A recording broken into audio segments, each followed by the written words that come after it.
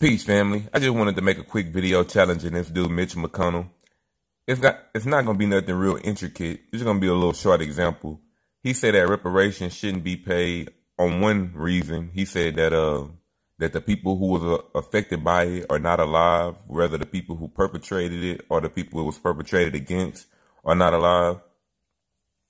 Well, I found this story about a victim in North Korea. He was supposed to be detained and all of this but it says North Korea is ordered to pay Otto Warmbier's family over $500 million in damages.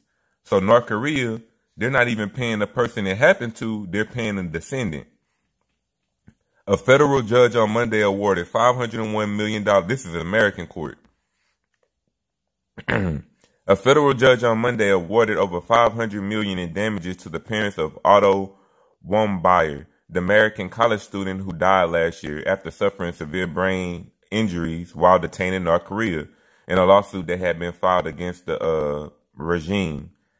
But it's the Judge Beryl A. Howell, the United States District Court for Columbia, concluded that North Korea was liable in torture, hostage taking, and extrajudicial killing of uh, this uh, student.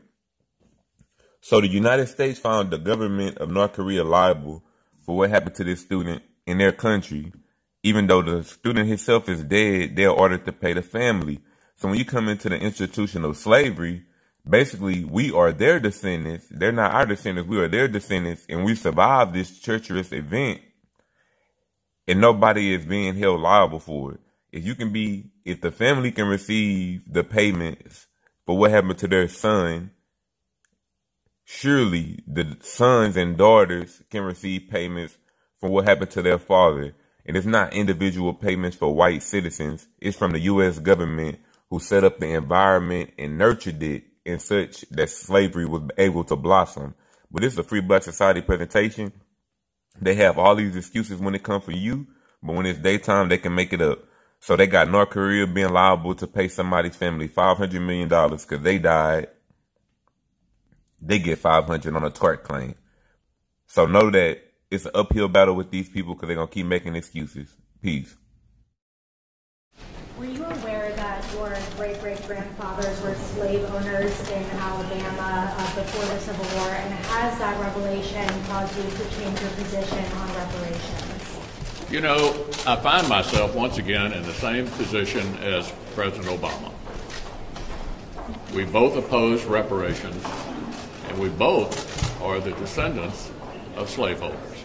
During my visit to Yad Vashem, I was given a gift inscribed with those words from the book of Joel. Has the like of this happened in your days or in the days of your fathers? Tell your children about it.